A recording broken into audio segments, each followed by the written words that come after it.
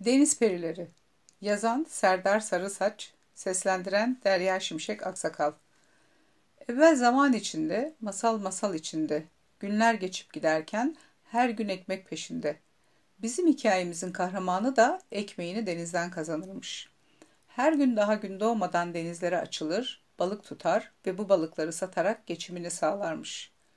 Bu balıkçının İpek adında bir kızı varmış. Her akşam balıkçı kızına denizle ilgili masallar anlatır ve her sabah işe giderken uykuda olan kızını öpmeden evden ayrılmazmış. İpek denizi, balıkları, en çok da masalları severmiş. En sevdiği masal ise adada yaşayan martıların masalıymış. Sadece babasından dinlediği bu masal İpek için çok özelmiş. Öyle ki birkaç kez rüyasında kendini martıların adasında bulduğu da olmuş. Haydi Gelin hep birlikte kulak verelim bu masala.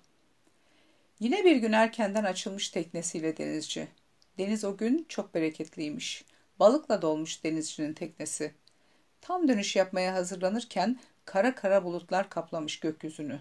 Şiddetli bir fırtınayla sürüklenmiş tekne. Bitap düşmüş denizci. Denizci sarp kayalıkların sınırladığı bir adada bulmuş kendini. Gecenin karanlığında önce etrafını pek seçememiş. Duyduğu sesleri hayra yormuş, iyi kalpli insanlar ona yardım etmeye geldiler diye düşünmüş ve bir dikişte içi vermiş verdikleri şişedeki iksiri. Hafif bir baş dönmesiyle beraber etrafını iyice süzmüş ama gördükleri denizciyi bir hayli ürkütmüş. Siyah pelerinler, sivri siyah uçlu şapkalar, sivri burun ve sivri çeneye sahip birbirine benzeyen çehreler karşısında dehşete düşmüş denizci.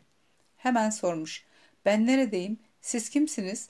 Bana verdiğiniz o şişedeki içecek neydi? Kötü kötü gülüşler olmuş.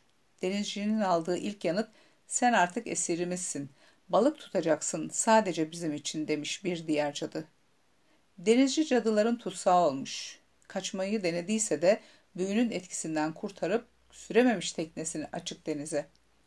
Bir gün yine balık tutmak için açılmış denize. Bir martı konmuş balıkçının teknesine. Sana yardımcı olabilirim demiş Martı. Sen de kimsin diye sormuş denizci. Martı denizcinin başından geçenleri bir bir anlatmış. Biz denizlerin iyilik nöbetçileri, balıkçı teknelerinin eşlikçisiyiz. Denizlerin perisiyiz. Denizde zorda kalanın yardımına koşarız diye yanıtlamış Martı. Denizcinin büyüden dolayı adadan uzaklaşamadığını biliyormuş Martı. Adanın sık ağaçlarla kaplı diğer kıyısında yaşıyormuş martılar. Martı yarın denize açıldığında kayığını kıyıdan uzaklaşmadan adanın diğer tarafına doğru sür, orada seni karşılayacağız demiş. Sabah güneş ışınlarının parıl parıl parlattığı beyaz kumlu sahiliyle insanın gözünü alan adanın diğer kısmına geçtiğinde yüzlerce martı karşılamış denizciyi.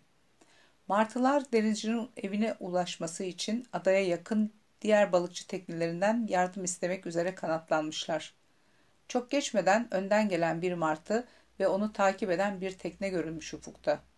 Cadıların dikkatini çekmemek için denizcinin teknesini geri yollamak üzere deniz yıldızlarından yardım istemişler.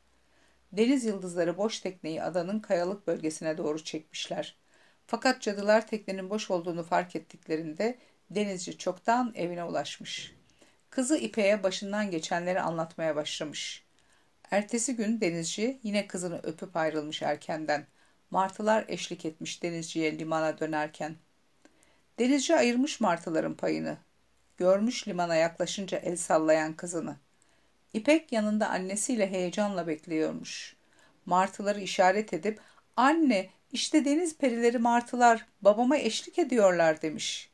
Balık ve martılara getirdiği simitleri fırlatarak teşekkür etmişler.